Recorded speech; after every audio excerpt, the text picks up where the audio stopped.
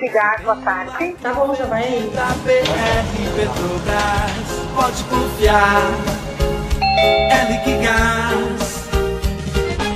Quem cozinha sabe que na hora de botar a panela no fogo tem que estar tá tudo na mão. Precisou? Tá na mão. Você liga e a gente entrega rapidinho o seu Liquigás.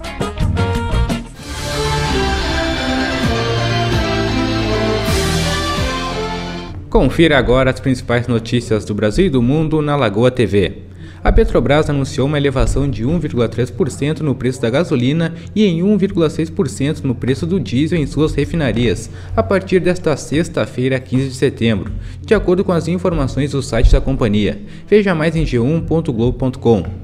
O fim da tarde da quinta-feira, 14 de setembro, em Porto Alegre, foi marcado pelo protesto de servidores no Dia Nacional de Luta em Defesa dos Serviços Públicos. Na capital gaúcha, o ato realizado na esquina democrática reuniu centenas de pessoas debaixo de guarda-chuvas e capas de plástico para debater as políticas que vêm sendo conduzidas pelos governos municipal, estadual e federal que afetam a classe. Veja mais em sul21.com.